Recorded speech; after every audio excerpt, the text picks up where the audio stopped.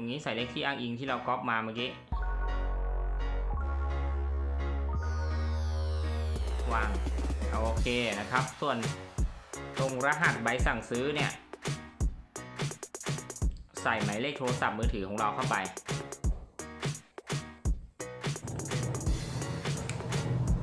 ห้าสี่สามสองหนึ่ง action ครับ สวัสดีครับ พบกันอีกแล้วนะครับสำหรับคลิปนี้นะฮะถาวรวดี Creator นะครับ ก็สำหรับคลิปนี้เนี่ยก็จะพามา สอนวิธีการชำระเงิน หรือว่าวิธีการจ่ายเงิน Lazada นั่นเองนะครับ สมมุติว่าเราสั่งซื้อของ Lazada เนี่ย แล้วเราจะจ่ายเงินผ่านแอปพลิเคชัน ทางโทรศัพท์มือถือของเรานะครับ เดี๋ยววันนี้จะลองใช้แอปพลิเคชันของธนาคารกสิกรนะครับหรือว่าแอป KBank นั่นเองนะครับว่าเราจะใช้แอปเนี่ยจ่ายเงินได้ยังไงนะครับก่อนอื่น หาซื้อของก่อนสักอย่างหนึ่งลองมาเลือกดูว่าจะซื้อของอะไรนะครับโอ้ยอันนี้ถือไว้ทำไมเนี่ยหนักอะวางไว้เป็นหนึ่งมีใครหลายๆคนถามไม้กันสั่นอันละพันกว่าบาทยังใช้ได้อยู่ไหมนะครับสรุปคือยังใช้ได้ดีอยู่นะ เดี๋ยวเราจะมาทำคลิปรีวิวให้ดูอีกทีนึงนะครับ ส่วนวันนี้เราไปดูวิธีการจ่ายเงิน Lazada กันก่อนดีกว่าอ่าเดี๋ยววันนี้ผมจะซื้อของอะไรสักหนึ่งชิ้น นะครับ ก็เดี๋ยวเลือกสั่งเลย เดี๋ยวข้ามขั้นตอนนี้ไปแล้วกันนะครับสำหรับขั้นตอนการสั่งซื้อเนี่ย ก็คือทุกคนก็อาจจะรู้อยู่แล้วล่ะ ว่ามันมีอะไรบ้าง ผมจะเลือกซื้อเป็น ที่เปิดฝานะครับ ตัวนี้ดีไหมอ่าโอเค ผมต้องการจะซื้ออันนี้แล้วกันนะฮะ69 บาทที่ช่วยที่จับช่วยเปิดฝาฝาขกฝา ก็คือเอาไว้เปิดฝานั่นเองนะครับก็ก็ทำการกดซื้อเลย พอซื้อเราก็มาเลือกสีโหวันนี้ 4 ชิ้น 150 2 ชิ้น 126 ชิ้นเดียว 69 บาท 4 ชิ้น 150แล้วถ้า4ชิ้นนี่มันจะตกอยู่ชิ้นเท่าไหร่ แต่เราไม่ได้ใช้เยอะหรอกเราใช้ชิ้นเดียวก็พอ สีส้มหรือว่าสีฟ้าอะสีฟ้าแล้วกันทำการกดสั่งซื้อนะครับ แล้วก็ทำการจ่ายเงินเอาละพอถึงขั้นตอนการชำระเงินเนี่ย เรากดสั่งซื้อไป นะครับ ผมก็จะชำระด้วยช่องทาง mobile banking นะครับ ก็คืออันที่ 1 2 3 นะครับ อันแรกจะเป็นบัตรเครดิต อันที่ 2 เป็น Lazada Wallet นะครับสำหรับคลิปนี้เราจะสอนการใช้ mobile banking นะครับ ส่วนวิธีการชำระอื่นๆ ไม่ว่าจะเป็น True Wallet การผ่อนชำระผ่าน Counter Service หรือว่าการเก็บเงินปลายทางก็จะอยู่ตรงนี้นะครับ แต่วันนี้คลิปนี้ไม่ได้พูดถึงนะครับโอเค mobile banking นะครับ เราก็จะเลือกธนาคารนะครับ ตอนนี้ก็จะมี อยู่ 5 ธนาคารนะครับ ก็มีกรุงไทย ไทยพาณิชย์ ธนาคารกรุงเทพ ธนาคารกรุงศรี แล้วก็ธนาคารกสิกรไทยนะครับ เขาบอกว่ากรุณาชำระผ่าน mobile banking หรือที่ตู้ ATM ภายใน 48 ชั่วโมง มิฉะนั้นออเดอร์ของคุณจะถูกยกเลิกอัตโนมัตินะครับ คือถ้าเราสั่งซื้อแล้วเราไม่ชำระภายใน 48 ชั่วโมงเนี่ยออเดอร์จะยกเลิกโดยอัตโนมัติเองนะครับ เราไม่ต้องไปยกเลิกยังไงนะครับ ถ้าเราไม่จ่ายเดี๋ยวเขายกเลิกเองอะ สมมุติเราใช้ KBank เรากดชำระเงินมาที่ขึ้นว่าระบบกำลังดำเนินการชำระเงินนะครับ เราก็รอสักครู่ เพื่อที่เปลี่ยนไปที่แอปพลิเคชันเห็นไหมเราก็จะได้หมายเลขอ้างอิงของธนาคารมาแล้ว เราให้เราทำการคัดลอกนะครับ กดคัดลอกตรงเนี้ยอ่า เขาจะบอกว่าชำระเงินได้อย่างไรบ้าง เราลองมาดูก่อนอ่านดูก่อนนะฮะขั้นถ้าเรามีตู้ ATM อยู่ใกล้ๆ หรือว่าออกไปหน้าตลาด ไปเจอตู้ ATM หน้าเซเว่นอะไรเงี้ยตู้ของกสิกรนะครับ เราก็ดูว่าจ่ายบิลชำระค่าบริการ แต่วันนี้เราจะใช้ผ่าน mobile bankingล็อกอินเข้าสู่ระบบ k p a s เลือกเมนูจ่ายบิน แล้วก็เลือกรายการใหม่ เลือกบินอื่นๆ แล้วก็เลือกบริษัท1ของ3 Service แล้วก็ใส่หมายเลขอ้างอิงในรหัสลูกค้า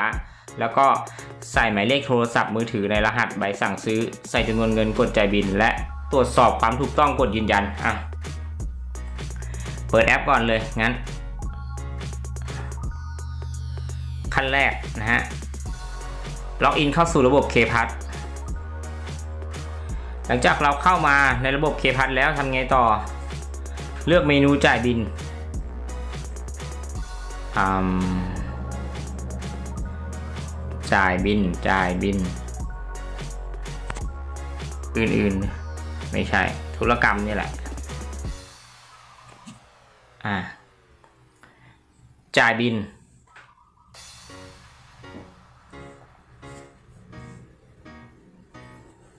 รอสักครู่นะฮะ หลังจากนั้น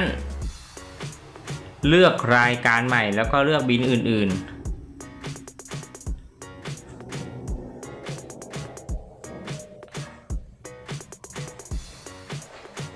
ครับ แล้วเราก็บริษัท 123 Service ตัวนี้นะครับ แล้วก็ใส่ อะไรต่อกลับไปอ่านดูดิ ใส่เลขที่อ้างอิงในรหัสลูกค้า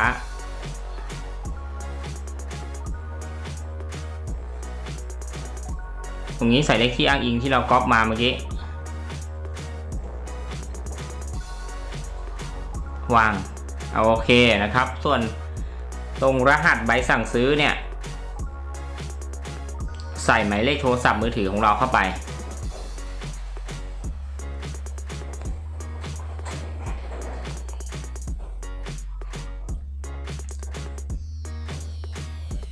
นะครับ แล้วก็ใส่จำนวนเงินจำนวนเงิน 148 148 อะ พอเราตรวจสอบข้อมูลอะไรให้มันเรียบร้อยนะครับ รหัสลูกค้าที่เรา Copy มาระวางแล้ว รหัสใบสั่งซื้อก็ใส่เบอร์โทรนะครับ แล้วก็จำนวนยอดเงินเราก็ใส่ลงไปให้ถูกต้อง แล้วก็กดต่อไปได้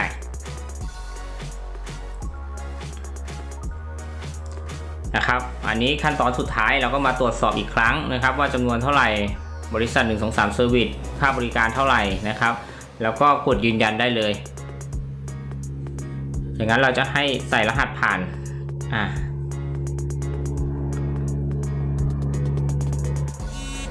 ห็นไหมครับ ตอนนี้เราทำการชำระเงินมันก็จะขึ้นว่าชำระเงินเรียบร้อยแล้วทำรายการสำเร็จ โอเคทำรายการเสร็จแล้วทำไงต่อ เราก็เข้ามาดูในระบบ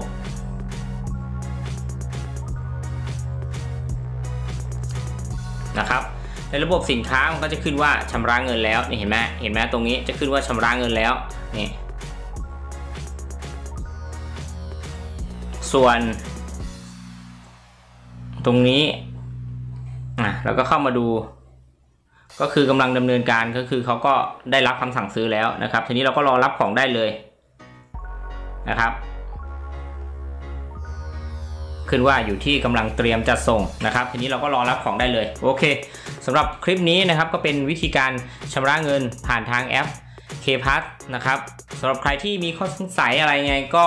comment เข้ามาถามได้นะครับ หรือว่าจะ inbox เข้ามาก็ได้นะครับ ก็เดี๋ยวจะตอบให้ทุกคำถามนะครับ ก็สำหรับใครที่อยากจะให้รีวิวหรือว่าท